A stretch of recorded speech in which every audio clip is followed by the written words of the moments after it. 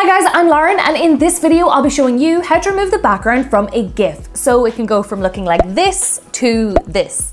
I'll also be showing you a really quick shortcut of how you can use these pre-made GIFs with the background already removed. So let's get straight into the video. To get started, just click the first link in the description. All right, now we're in Veed. We need to remove the background from our favorite GIF. Firstly, we're going to click upload file, then choose the video that we want to attach our GIF to. So I've actually got this video here of a bakery in Copenhagen. I'm gonna select that and give it a moment here to upload. Now, once that's finished uploading, we're gonna go over to the left-hand toolbar here and click elements. We're gonna scroll down here until you see GIFs, then click search. Now just type in whatever it is that you want, and then you can select your favorite. And I can actually pull on the corners and sides here to make it bigger and I can also position it on screen. Now to remove the background from your GIF, you're gonna scroll down here in the left hand panel until you see background remover and then click on it and it'll just take a moment here to work its magic.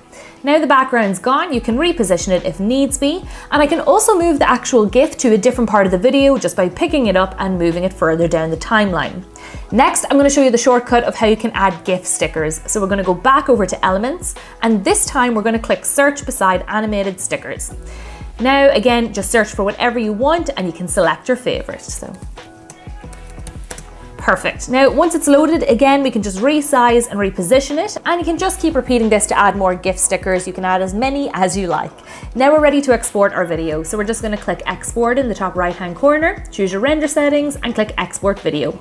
Give that a moment here to render. Once it's finished, watch your video all the way through just to make sure you're happy with it. And if you're happy with it, then you can go ahead and click download and download MP4. And that's it. That's how to use Veed's GIF background remover tool. I really hope you found this video helpful, guys. If you did, go on and give us a like, subscribe for more editing content, and leave me any comments or questions down below, and I'll get back to you as soon as possible. Thank you so much for watching, and I hope to see you in the next one. Bye!